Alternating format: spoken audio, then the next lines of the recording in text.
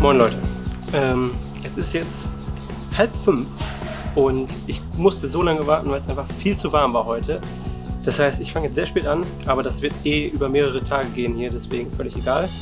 Äh, es gibt viel zu tun, es gibt nämlich viele Kleinigkeiten zu tun und ja, es geht nämlich bald wieder los.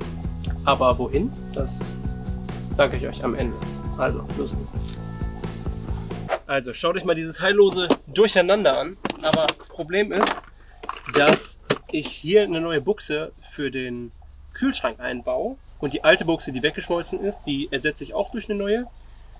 Aber ich komme hier natürlich gar nicht dran. Deswegen kommt die Kiste raus, die Kiste raus, das kommt raus und das kommt auch raus. Ja.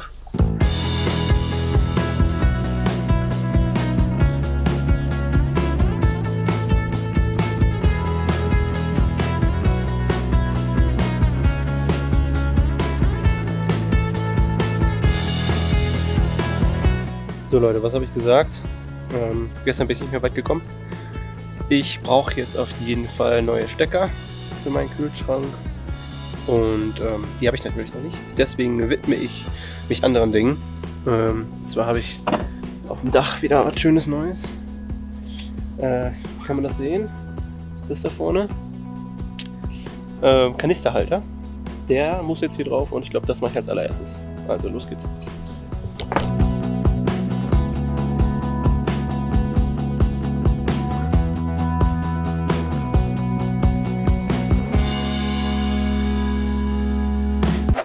Mal hier in der Garage bin. Ich habe nämlich noch so Truss Shell nennt man das, aus der Veranstaltungstechnik. Daran werde ich nämlich meinen Highlift Jack hängen.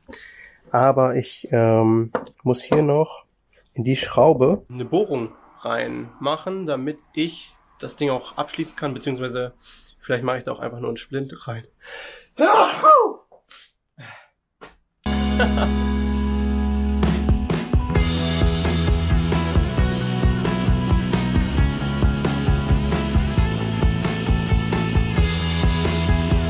wie soll ich da drankommen? Soll ich den erst wegnehmen, ne? Ey, ich sag euch, das ist so schön, wenn man einfach auch mal mehr von dem Zeug kauft, was man sonst auch so benutzt. Weil da muss man nicht wie jeden kleinen Scheiß zum Baumarkt. Das hatte ich nämlich alles noch da. Das ist wunderschön. Selbst diese Schellen, die ich extra für diesen Dachdecker gekauft habe, also dann nach jahrzehntelanger Recherche gefunden habe, davon habe ich nämlich auch noch, äh, ich glaube, 24 Stück. Das heißt, fröhliches Schrauben.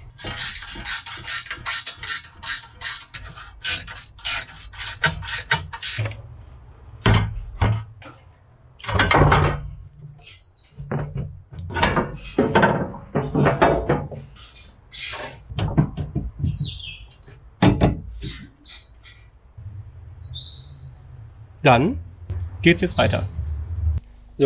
Leute, ein weiteres Problem war, dass ich diesen Tisch hier nie rausgekriegt habe, weil meine Daumen halt zu fett sind. Deswegen muss ich immer so machen.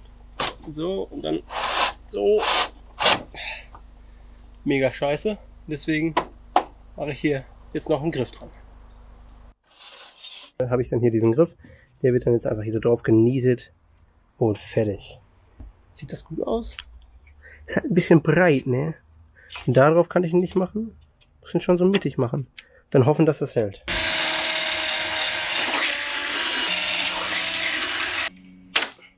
Also. Er hat eigentlich ganz okay gequetscht. Aber es hält. Es hält. Ich bin ganz überrascht, dass es hält. Ja, hat er Probleme? Oh, jetzt zieht ihr da ruhig. Nein. Lass gut sein, Junge. Reiß ab. Jawohl. Aber hält auch. Ist gut. Muss das nur da drunter passen? Das tut es. Das macht auch keine Probleme. Ist gut. Ist doch super. Oh, jetzt kann ich den sogar hier dran tragen. So. So. Besser geht's nicht. Ein großes Problem hatte ich bei der letzten Reise. Und zwar war hier ja der alte Wasserkanister dran. Hier an der Seite.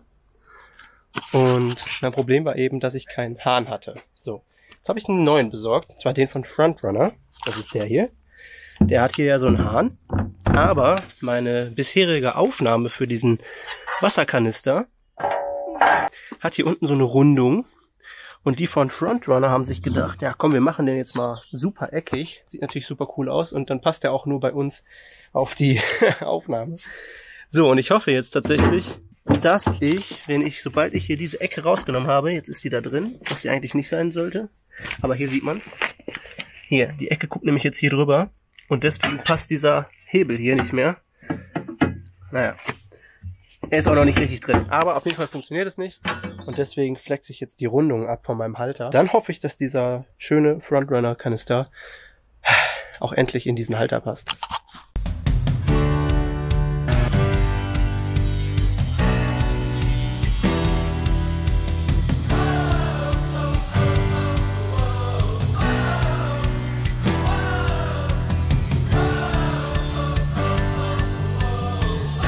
So, boah. Wollen wir mal gucken, ob jetzt hier der Kanister reinpasst. Ich hoffe. So, die Ecke stört jetzt natürlich nicht mehr. Das stört auch nicht. Da ist er drin, da auch. Ah, das passt trotzdem nicht. Scheiße. Aber warum? Vergiss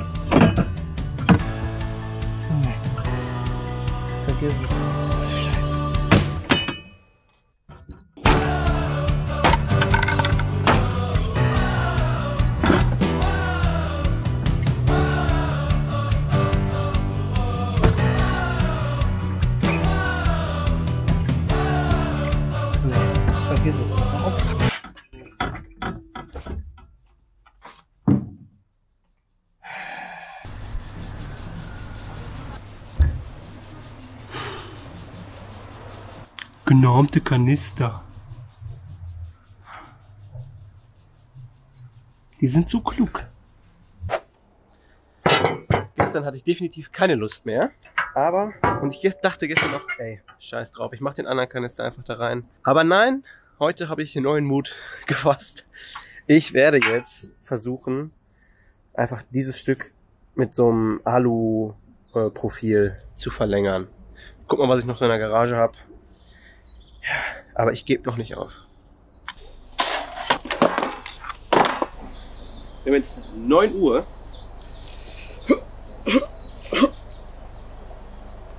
Ich will heute richtig viel schaffen. Deswegen geht's jetzt super früh los. Ah ja, klar. Dann ist uns allen geholfen.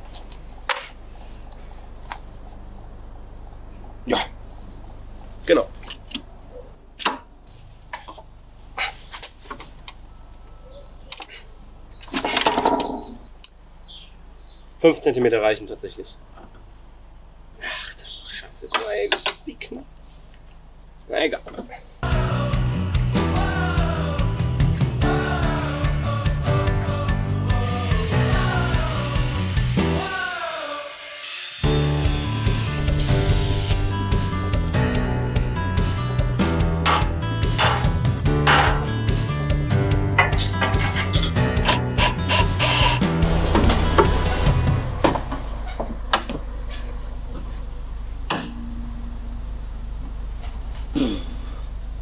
Ey, was ein Theater, ey.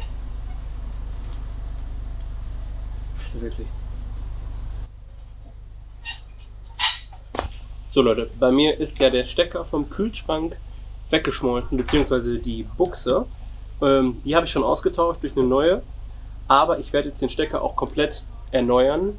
Und zwar kommt das Ding hier an den Kühlschrank. Das ist äh, von Hella Marine ein ja, 20 Ampere Stecker und ich hoffe, dass der ein bisschen mehr aushält. Und das ist das Gegenstück, das kommt dann stupide hier einfach oben drauf. Zack, das wird dann hier verschraubt und dann hält das bombenfest und ist nicht irgendwie so eine wackelige, ja, so eine wackelige Angelegenheit.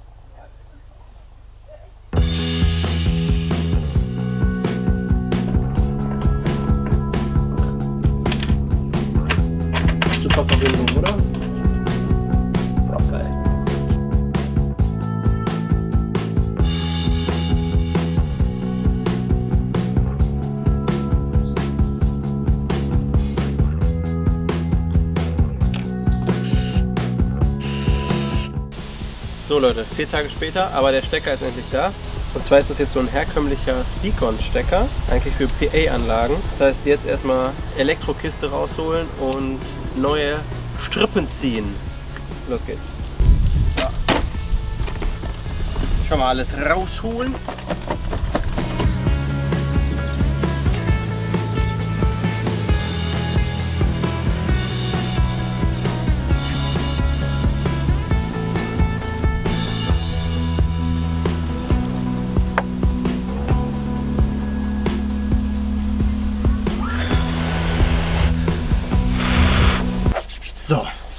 Neuer Morgen. Heute werden die letzten Kabel verbunden und der Kühlschrank getestet. Kühlschrank zieht 8 bis 10 Ampere. Ähm, also, was ist das hier? Das ist Plus. Das ist Minus. So, jetzt kann eigentlich der Ausbau wieder rein. Stecker verbinden und Kühlschrank rein. So, ich hoffe mal, das ist positiv. Negativ 12,8. 8, 9. Wunderbar. Dann schmeiße ich den Kühlschrank einfach mal ran.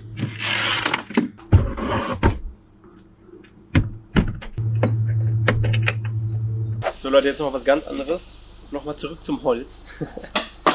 Wir bauen nämlich noch einen Abfalleimer quasi, der in meinen Heckausbau kommt. Ich habe zwar im Internet geschaut und überall hier in der Umgebung nach Plastikkanistern, aber so richtig habe ich den nicht gefunden. Also machen wir den einfach selber. Los geht's. So, erstmal einen Plan machen, weil ich habe noch 20 Minuten. Da ist hier noch Mittagsruhe in der Umgebung hier. Das ist auch, das hält mich so auf immer, ne? Von 1 bis 3 Mittagsruhe. Ich habe schon mal hier die Säge 45 Grad, also auf Gärung gestellt. Gleich mir einen schönen Plan machen und dann geht's ratzfatz, ratzfatz 3, 2,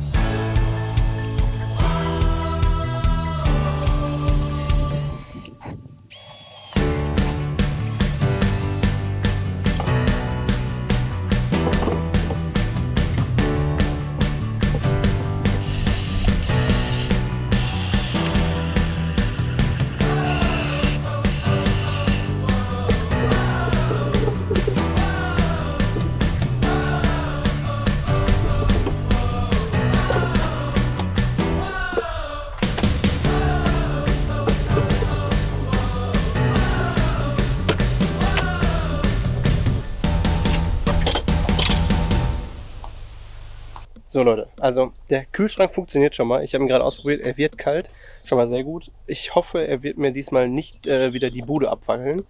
Und ja, mal gucken, wie lange er durchhält. Sorry dafür, dass es heute so ein bisschen durcheinander war, aber so ist das eben, wenn man irgendwie kurz vor der Abreise steht und noch ein paar tausend Sachen zu erledigen hat.